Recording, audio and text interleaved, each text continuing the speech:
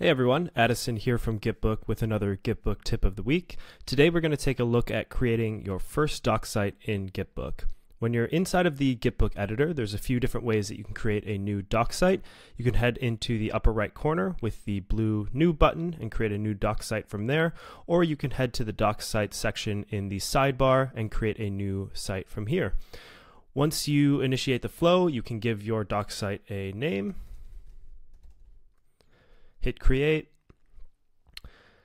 And once you're inside of your doc site, you'll be able to choose the type of content that you want. If you're starting from an existing doc site, you can import your content, whether it's Markdown, HTML, a zip file, uh, or just pasting a link to your existing doc site, and Gitbook will import all of your content right away.